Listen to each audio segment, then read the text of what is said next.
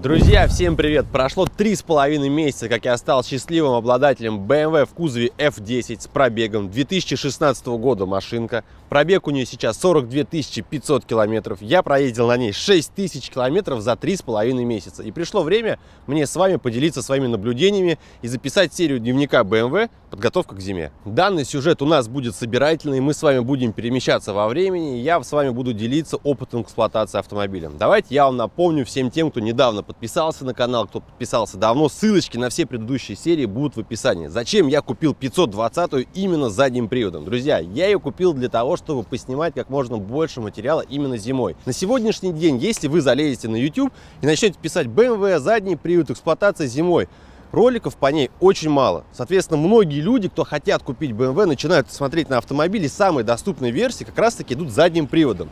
Вот на секундочку, мы уже записали сюжет про скидки на BMW. И что если я вам скажу, что новая BMW третьей серии с мотором 2 литра, 318 двухлитровая, на заднем приводе, самая простая версия, доступна за наличный расчет по цене 2 миллиона, 2 миллиона 100 тысяч рублей. Обязательно подпишитесь на канал, потому что в ближайшее время ролик выйдет на канале, и вы там все услышите последовательно, подробно. В инстаграме канала, да и вообще в целом в личные сообщения меня очень спрашивают, ну давай, блондин, расскажи, ты уже столько поездил на машине, в принципе, ты можешь ответить на вопрос, что же лучше, BMW с пробегом или же все-таки купить новый автомобиль, ту же самую Toyota Camry, Mazda 6, Kia Optima в хороших комплектациях за эти деньги можно взять. Напоминаю, что ценник автомобиля 1 миллион 700 тысяч рублей с пробегом 36 тысяч километров 2016 года, я второй владелец. Парни, я вам отвечу так. Вот сейчас я к машине привык. Вот разница не то, чтобы ощущается, она вот прям вот на голову выше во всем. То есть ты садишься в автомобиль, он более собранный, ты в него садишься, очень хорошая шумоизоляция, даже штатная. Вот сейчас я уже переобул автомобиль на зимнюю резину, вот это характерное цоканье от шипов, его практически не слышно. Когда на Мазде это было слышно всегда отчетливо, на Тойоте там были 17 колеса, автомобиль был с полной шумоизоляцией, все равно это тоже было слышно. Здесь же я езжу, ну, действительно получаю удовольствие от сидения, от управляемости. Особенно, когда я поменял колеса и поставил все одинаковые. Это просто совсем другая машина стала. Вот серьезно. Все, что вы говорили, ранфлет фигня, разноширокий, лучше убрать для комфортного управляемости. Вот действительно так. Что я вам могу сказать с точки зрения минусов, что я заметил по автомобилю? Ну, в первую очередь, силу того, что предыдущий владелец залазил в машину, что-то менял тут с проводкой, камеру поставил, головное устройство поменял. Вот этот правый поворотник у меня периодически слегка моргает. То есть это происходит прям буквально на долю секунд. Я это замечал. Стоишь в потоке и видишь то, что впереди идущего автомобиля отражается, как он у тебя загорается. То есть что-то тут коротит. Это раз. Второй момент. Вот смотрите. Автомобиль стоит, да, ну, на вторичке там миллион семьсот. Его покупали по цене 2 миллиона 100 тысяч рублей в 2016 году. У меня есть функция складывания зеркал. И вы скажете, блондин, да кого ты этим удивишь, у всех это есть. Но это отдельная функция. Что она все несет? Складываются зеркала раз, плюс ко всему, когда они разложены, включая заднюю передачу, правое зеркало может наклоняться вниз. Но у автомобиля нет бесключевого доступа. Вот это вот, друзья, я вам серьезно говорю, это просто такой напряг. Привыкнуть к этому за три с половиной месяца мне не удалось. Потому что ты приходишь к машине с пакетами, раз в этот карман кое-как, а ключ-то в этом кармане. И вот доставить эту опцию, ее в принципе можно, но это стоит порядка 40 или 60 тысяч рублей. И вот в этом минус немцев, что все автомобили наборные. Потому что если бы смотреть сейчас даже на вторичку с точки зрения японцев или даже на новый автомобиль за миллион семьсот, любой автомобиль, который вы будете покупать, он уже будет однозначно с бесключевым доступом. Вот такие зеркала у официального дилера, вот накладка, да, это M-Performance называется, она стоит 13 тысяч рублей. Я купил одну и вторую за 2,5 тысячи рублей. Решетка, ноздри черные, я их купил за 3 тысячи рублей, у официального дилера они стоят тоже там в районе 10 или 11 тысяч рублей. Факт в том, то, что такой легкий стайлинг, на мой взгляд, автомобилю придает внешнего вида. Кто-то скажет, конечно же, колхоз, но я скажу так, моя машина, что я с ней хочу, то я с ней и делаю. С чего я начал свою подготовку к зиме? Ну, естественно, с переобувки. Я записал отдельный сюжет, присаживайтесь поудобнее, давайте мы его посмотрим, и после этого я его маленько прокомментирую. Потому что простейшая переобувка колес, о, совсем другая история. Смотрите.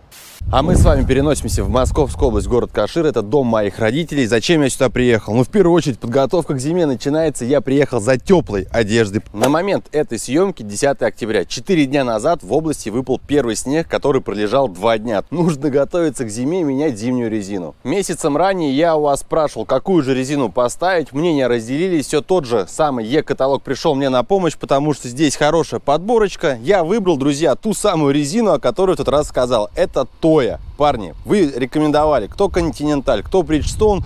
Многие говорили, то, что Хакапелита стала плохая, ставить ее не нужно. Я выбрал ту самую Тою, потому что ранее на этой резине я уже ездил. Она стоит сейчас у меня на Ниссане. В принципе, хорошая японская резина, мягкая, относительно тихая. Сами понимаете, что любая шипованная резина будет шуметь. В общем, комплект колес 18 круг по переднему размеру мне обошелся изначально в 43 500 рублей, но посидев на Е-каталоге, я ее покупаю за 36 800 рублей. В общем, давайте перемещаться, забирать резину. После этого мы поедем на шиномонтаж, потому что там не есть вам что показать. А всем, кто хочет сэкономить денег, вот, заходите на Е-каталог, друзья. Сам каталог вас не призывает ничего купить. То есть забиваете товар, который вас интересует. Здесь идет целая подборка, здесь есть магазины, где его можно купить. Вы можете почитать отзывы про резину, собрать все необходимые параметры, высота, нагрузка. В общем, это действительно удобно. И самое главное, вот они все цены. Нашел ценник, звонишь, есть наличие, заказываешь, покупаешь. Нет наличия, звонишь дальше.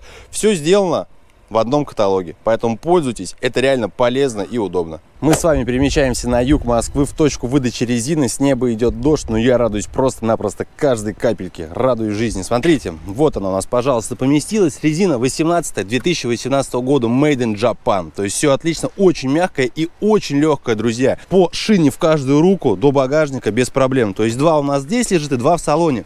Отмечаю, что у меня есть возможность складывать задний ряд сидений. А самом деле это на BMW доступно больше как опция. И кто-то задаст вопрос, а почему же не липучка, ведь липучка в городе будет комфортнее, на асфальте она будет тише. Друзьзя, выбирайте резину каждый под свои нужды. Там, где я буду кататься, мне шипы просто-напросто необходимы. Более того, повторяюсь, мы этой зимой будем снимать много серий про эксплуатацию автомобиля на заднем приводе. И самое главное, что я 100% буду оказываться на льду. Соответственно, что я буду делать там с липучкой? Ну его нафиг, я катался, что такое представляю.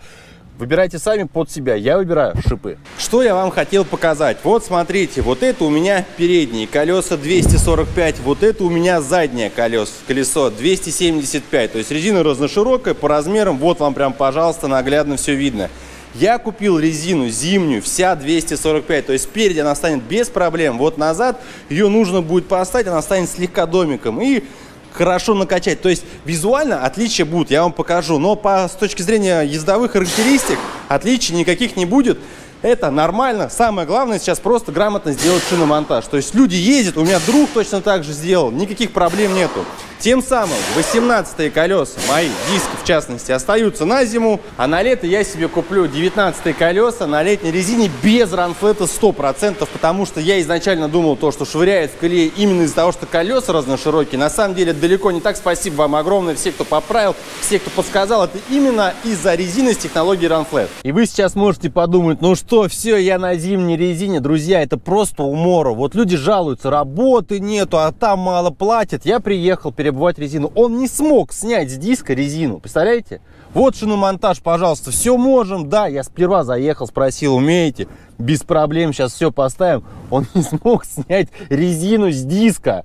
В общем, шиномонтаж, который обычно занимает 30-40 минут, у меня вырос аж в целые сутки. Что случилось? Вот секретки, которые мне достались от первого владельца. Они уже стояли на автомобиле, а вот он сам ключик, да, с помощью которого можно эту секретку снять.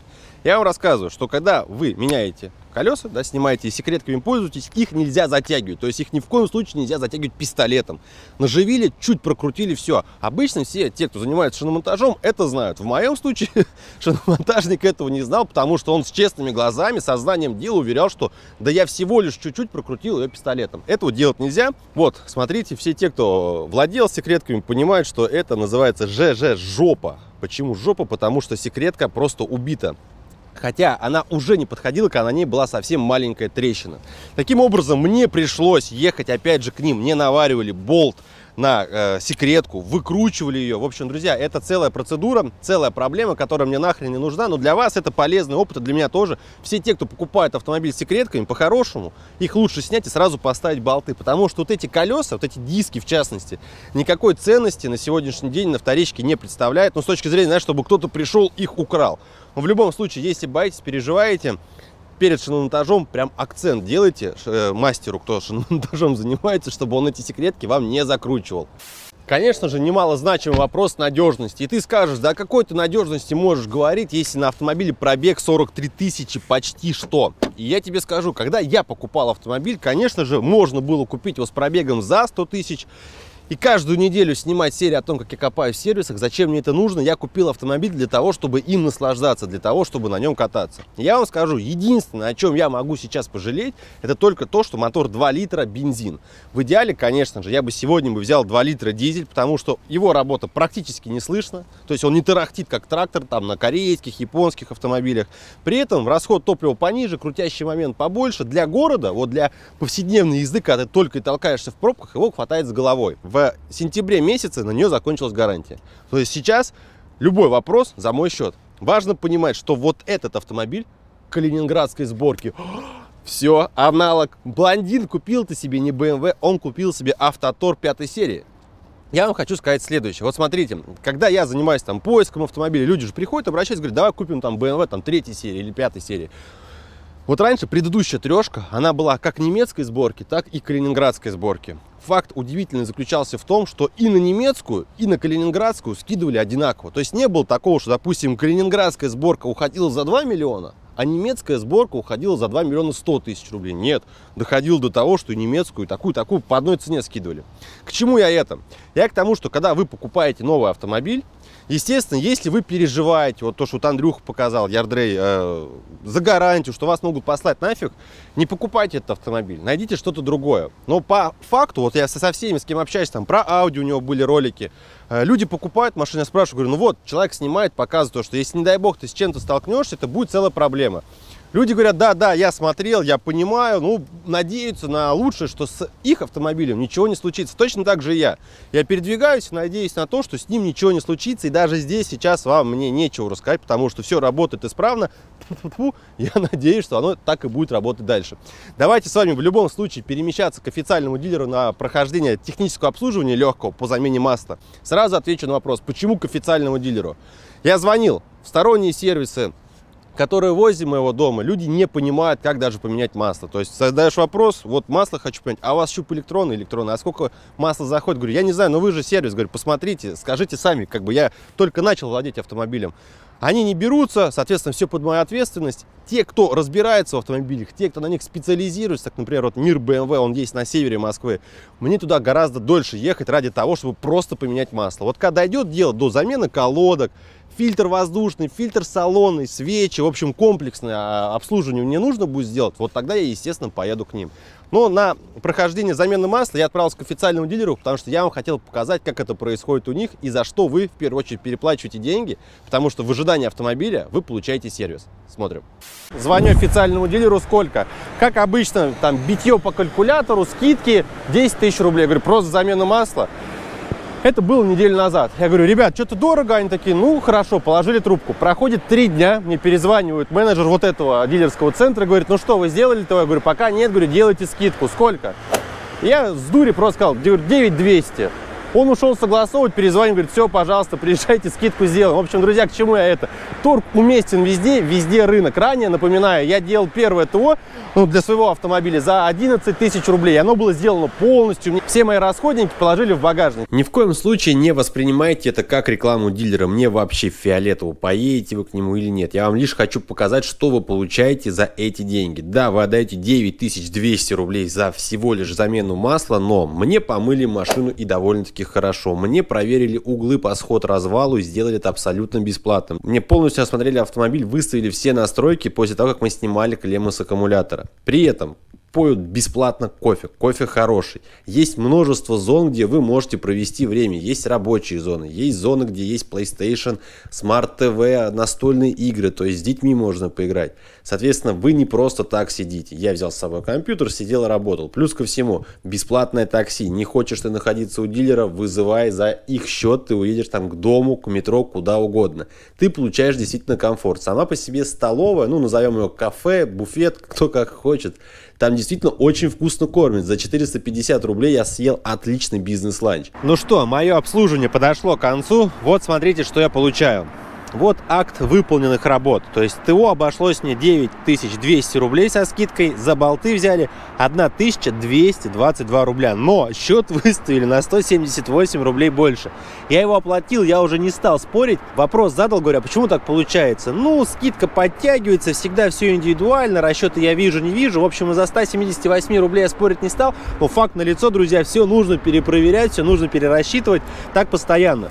Что сделали дополнительно? Проверили полностью мой автомобиль, никаких нареканий нет. Вот это вот красная зона из серии, когда есть нарекания, что прям нужно сразу делать. Желтая это из серии, когда вот-вот-вот что-то будет плохое. У меня все по зеленой зоне. Также дополнительно проверили сход-развал, то есть нареканий никаких нету. Таким образом, Получается, что технически тачка в отличном состоянии. И как видите, торговаться можно. Плюс ко всему, вот объясню.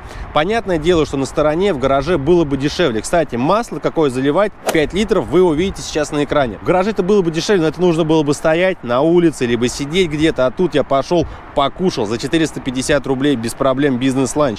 Попил кофе, напоили. Чисто, аккуратно, тихо, поработал. Два часа, что здесь просидел, я выполнил задание, я заработал денег. Поэтому я могу ехать дальше. Ну а мы с вами перемещаемся на нашу точку и продолжаем диалог о BMW. С какими мелкими косяками я сталкиваюсь по автомобилю? Ну, в первую очередь, это срабатывание ключа. Знаете, ну, раз подходишь к машине, в кармане начинаешь нажимать, чтобы дверь открылась, а она не открывается. То есть, бывает так, то, что нужно прям достать ключ, прям на нее направить, только после этого дверь откроется. Неудобно. То же самое происходит, когда ты садишься за руль и начинаешь заводить автомобиль. Бывает так, то, что нажимаешь на кнопку, он ключ не видит, не срабатывает, то есть нужно ключ достать, вот такое происходит. В остальном же по электрике, там, по салону вопросов никаких нету, но, например, когда мы переходим в режим спорт, то есть приборная панель моя должна меняться, она у меня не меняется, в режим эко то же самое, ничего не происходит. Почему? Потому что первый владелец это отключил. Мы когда делали заезд, когда я говорил то, что вот, мы включаем там режим спорт, многие писали, типа, так ты его не включил, потому что на приборке ничего не изменилось. Все меняется, друзья. Ну, режимы работают, просто у меня это отключено. Чтобы это активировать, люди на стороне просят 2500 рублей. То есть вот в этом всем кроется BMW. Все, что ты можешь сделать, всегда за денежки, скрытые функции, в общем, доработать можно автомобиль полностью. Я хочу, чтобы вы обратили внимание на руль. М-рули, они идут с кожей напа. Очень приятная на ощупь, такой руль сам по себе красивый. Для меня это прям было очень важно. Не знаю, почему прям вцепился я именно в М-руль. Что я вам хочу сказать? покупая автомобиль, он буквально, даже вот если вы новый покупаете автомобиль, буквально там через месяц-два он у вас становится весь глянцевый. Что это такое? Это сальные железы, кожа ваша, грязь. Руль очень быстро пачкается. Что нужно делать? Если вы будете приезжать там, на сервис BMW, вам, естественно, что рассказывать о том, что есть спецсредства, которыми можно его мыть, это все стоит денег. В реале все, что вам нужно, это губка, тряпка, ведерко с чистой водой и хозяйственное мыло. Намочили аккуратненько, намылили, раз смыли, два смыли. Все, друзья, реально очень долго держится. Последний раз я свой руль мыл тысячи, наверное, три километров назад. И вот долгое время, даже сейчас вот вживую, когда смотришь на него, он остается как новый. Очень приятно. Поэтому рекомендую, пользуйтесь. Касаемо расхода топлива. На данный момент последние 3000 километров я проехал из серии 90%. В городе 10% трасса. Расход топлива на автомобиле составляет 10-11 литров. Вот в этом диапазоне. То есть 10,5, 10,7 бывает 10,2. Я вам называю честные цифры. Я сейчас автомобиль заправлял только сотым бензином. Вот эти 3000 км на сотом бензине я прокатился. За что я переживаю? Честно говоря, в зиму, конечно, задним приводом страшненько входить, потому что вот я сейчас даже поставил шипованную резину, оттормаживаюсь где-то на скользкой дороге, чувствую, как срабатывает электроника, но я ее еще пока что не до конца понимаю, то есть иногда даже как-то страшновато. Но в любом случае выпадет снег, выйдем на открытый участок, будем разгоняться, тормозить, посмотрим, как машина себя ведет, будем снимать, будем вам это все показывать.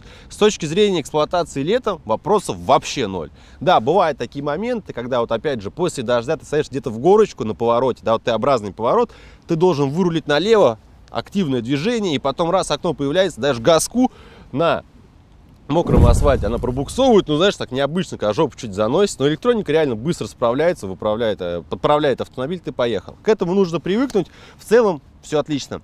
Касаемо полного привода, это было бы просто и легко. Полный привод зимой это неинтересно смотреть. Полный привод это изначально автомобиль подороже, а вот задний привод зимой это будет круто. Поэтому обязательно подписывайтесь на инстаграм канала, потому что там всегда реально выходят только свежие новости. Там я публикую, какие скидки на автомобили можно получить. Там я публикую, что мы будем снимать. Ничего лишнего там нету. Всех жду. Ссылка активная в описании. Мы с вами перемещаемся на парковку одного московского гипермаркета, куда я заехал сделать важные покупочки для меня, друзья. Что мне пригодится этой зимой? Лопата раз, снеговая, чтобы я мог всегда откопать свой автомобиль. Щетка, естественно, у меня была щетка, но она уже стала старая, пришлось купить новую со шкребком 2. Я себе купил трос на 2,5 тонны, машина весит около 2 тонн, там тонна 800, 5 э, метров. Трос с двумя крюками, пожалуйста, все, всегда смогу себя вытащить с чьей-то помощью. Жилеточка, естественно, нужна, чтобы меня никто не шип. У меня есть также вошеры, которые я когда-то тоже рекламировал, то есть, ну, они очень удобные, мыть стекла, ну и тряпка безворсовая у меня есть. А теперь самое время все дело это нам, друзья, посчитать. Вот сейчас за все, что я перечислил, я в магазине отдал 1250 рублей раз. Плюс 2000 рублей я потратил на шиномонтаж, где я делал во второй раз. Далее, плюс 36 800 рублей зимняя резина, которую я, напоминаю, нашел через Е-каталог. Ну, реально, сэкономил денег 2. Э, техническое обслуживание, замена масла, в любом случае под зиму я это сделал. Считаем условно, что я отдал 10 тысяч рублей за вычетом того, что болты, которые я оплачивал мне, оплатил человек, который их сломал. 3. Итого у нас получается 50 тысяч 50 рублей. Условно полтинничек. Вот такая цифра получается. С одной стороны не страшно, с другой стороны в силу того, что я это потратил буквально за два дня, улетело это ощутимо. Но с другой стороны, покупаете автомобиль, будьте готовы содержать. Что я хочу сказать касаемо резины напоследок. Вот смотрите, сейчас она вся везде стоит 245. Я понял одно, что 100% больше никогда в жизни себе разно широкую резину ставить не буду, даже без технологии RunFlat. С точки зрения внешнего вида это все баловство. Какой-то там сталинг, широкий широкие колеса сзади, нахрен это не надо. Сейчас я езжу, я на ней проехал уже 250 км, потому что ездил в области и обратно. Блин, совсем другой автомобиль. Про колею я вообще забыл. Действительно, вот сейчас я получаю удовольствие от вождения. Друзья, ну что, вот такой получилась эта серия. На данный момент я в автомобиле никак не разочарован. Пока что мне все нравится, я наслаждаюсь, я не жалею о том, что совершил покупку. Самое главное, что все интересно начинается вот только сейчас, потому что мы с вами ждем зиму. Пишите ваши комментарии, давайте ваши советы. Я надеюсь, этот ролик был полезным и интересным для вас. Обязательно подписывайтесь на инстаграм-канал, потому что там выходят только свежие новости. Напоминаю, что следующий ролик будет про скидки на BMW, потому что это ну, действительно актуально, полезно, и многие из вас могут сэкономить. Ведь многие люди не знают до сих пор, что с официальными дилерами можно торговаться. У меня на этом все. Всех приглашаю в комментарии. До новых встреч. Всем пока-пока.